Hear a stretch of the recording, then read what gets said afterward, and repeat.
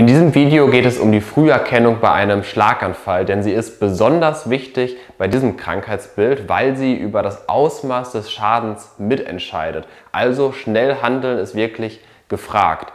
Deswegen beginnen wir auch gleich und zwar geht es zunächst um mögliche Sehstörungen, um mögliche Sprachstörungen, die typisch sind. Des Weiteren können starke, also massive Kopfschmerzen auftreten, die möglicherweise mit einem Schwindel oder Benommenheitsgefühl einhergehen. Und eine Gangunsicherheit ist auch nicht selten. Das heißt, dass der oder die Betroffene nicht mehr sicher auf den eigenen Beinen stehen kann. Des Weiteren kommt es häufig zu Lähmungserscheinungen, so dass zum Beispiel der gesamte Arm schlaff herunterfällt. Das wäre auch ein absolutes Warnzeichen. Was du dir jetzt merken kannst, ist der folgende Merkspruch bzw. das Merkwort, nämlich fast, also Englisch für schnell. Das F steht dabei für face. Das heißt, du sollst den Betroffenen oder die Betroffene einmal darum bitten, zu lächeln.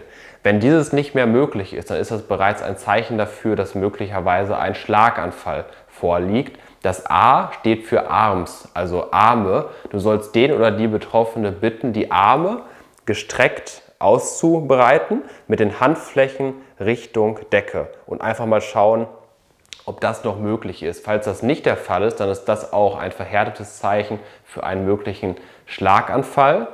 Das S steht für Speech, also für Sprechen, sage ich mal. Das heißt, du bittest den oder die Betroffene darum, einen einfachen Satz nachzusprechen, den du vorgibst. Und das letzte, der letzte Punkt ist das T, nämlich für Time, also Zeit. Wie ich eben schon gesagt habe, kommt es auf Schnelligkeit an, dass man schnell handelt. Das heißt, wenn die Befürchtung besteht, dass ein Schlaganfall gerade bei dem oder der Betroffenen vorliegt, dann sofort die 112 rufen, den Notarzt informieren und am Telefon versuchen, auch wenn die Situation eine schwierige ist, besonnen zu bleiben, ruhig zu bleiben, denn ihr bekommt die Fragen am Telefon gestellt. Ihr müsst nicht drauf losplappern, auch wenn man dazu neigt, sondern ihr bekommt alles gefragt am Telefon, denn da begegnet euch geschultes Medizinpersonal.